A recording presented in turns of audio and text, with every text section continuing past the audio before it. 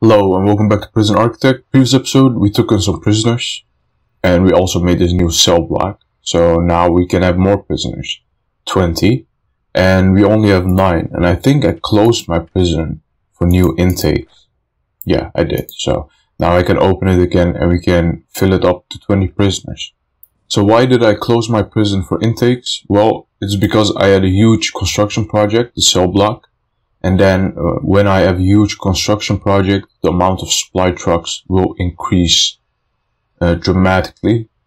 There will be a long line of supply trucks and this game cannot handle that. And uh, when you take in prisoners and you have a huge line of supply trucks, it bugs out, it doesn't count co correctly, and it will give you way more prisoners than you can house. Anyway, so if you look at our prisoners, uh, what we see is that they have uh, their needs pretty much fulfilled, right? So this guy can uh, take care of of his bladder and bowels uh, on the toilet here. This used to be all the way empty. They had no needs, but now that they have been here for a while, you can see that their clothing need is increasing. So they want fresh, new clothing, clean clothing. So that's what I want to do this episode. They also have a spirituality need. Uh, I'm not going to take care of that this episode yet, but we will some other time. So, uh, but let's start with clothing. And I don't want to only do the clothing, I also want a cleaning cupboard, and I want a mail room, I want a laundry and maybe also a library. So I planned in the foundation, I made four rooms. So for every room that I just mentioned, I made a room. This is going to be the library. I think this is going to be the cleaning cupboard. This is going to be the mail room and this is going to be the laundry room. I'm just going to wait a little bit until uh, this is built. And, uh, you know, it's pretty simple. It's not too difficult. And we also got some new prisoners. Look at this. Uh, yeah, cool. So, uh, and what I want to also do is I want to build like a fence around this place. Then we can put also a fence gate. And then the reason I built a fence is that I can build a metal detector right here in front of the door and then uh, they have to go through that metal detector if they want to you know enter these rooms because there might be some contraband in these rooms.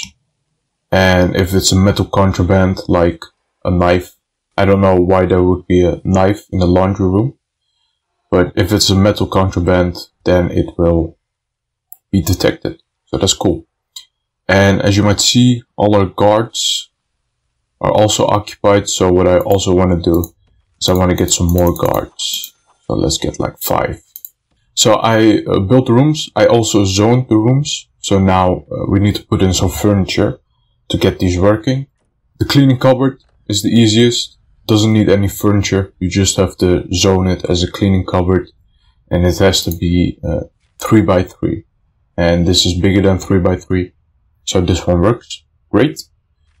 And uh, let's next do the mailroom because the mailroom is also pretty easy. What you do is you put some sorting desks and I think you need a table. So a sorting desk and a table and that's it. So I'm just going to put like a bunch of sorting desks and a bunch of tables.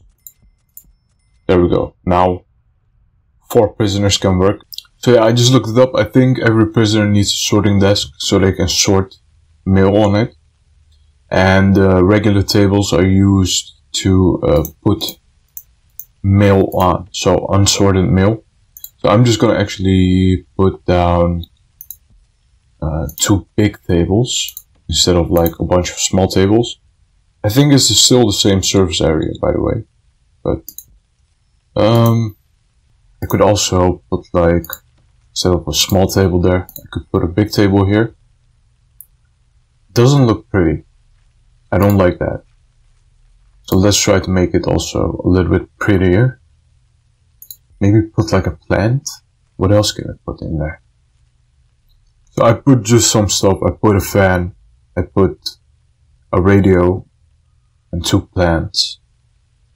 Uh, yeah.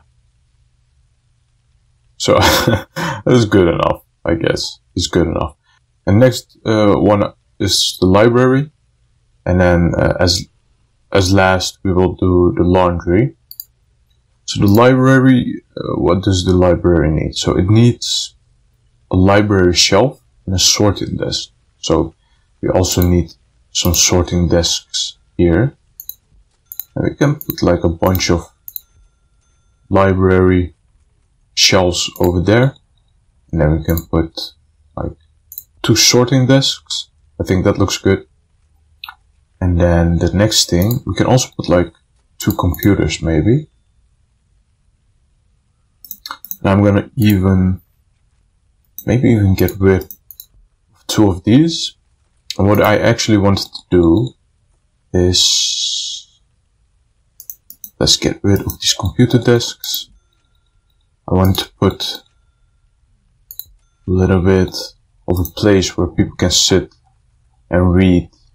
That, that, that, that looks nice, so I'm gonna do that. I'm also want coffee table.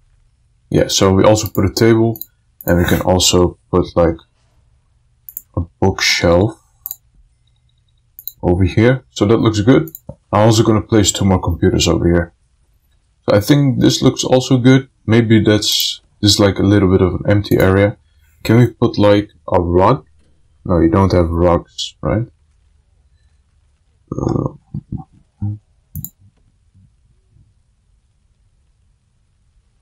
So I'm also gonna put like a chess table over there. So the library is also a nice cozy place where people can sit and read, maybe play some chess. So yeah, that looks also really good. I think. So it's almost built. And in the meantime, what we can do is we can design the laundry room. And to design the canteen and the kitchen, we used a website. And I'm going to use that same website to get the right amount of laundry machines, right amount of ironing boards. So let's go to the website. So this is that website again, and then we can go to laundry. You know how many prisoners we have? 40? There are two numbers. I still don't get what the difference between the, these two are, but I'm going to use the one with more items. So six baskets, three ironing boards, two washing machines. This is the one I'm going to use. Okay, so let's build the laundry room. What did we need? We needed two machines. We needed three ironing boards one, two, three. And we needed six baskets. That's it. Easy peasy. Lemon squeezy? Yes, lemon squeezy. so this room is also kind of barren. It doesn't have decorations. Uh, but it's a laundry room, so I don't think that one needs decorations. No, I don't think so. Uh, the next thing that we have to do though is we have to connect these with to some water. And I also want to heat this place up. So I'm gonna put a boiler here. And then what we can do is we can put some radiators in these rooms and heat this place up because otherwise prisoners are gonna start complaining about uh, their warmth or the lack of warmth. So that's what we also need to do. Uh, I think I put one there.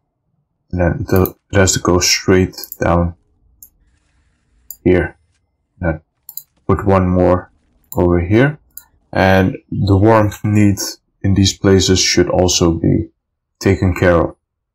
The laundry room is also functioning right now because we don't get that error marker, that red sign that's flashing. So what we can do is we can assign some workers.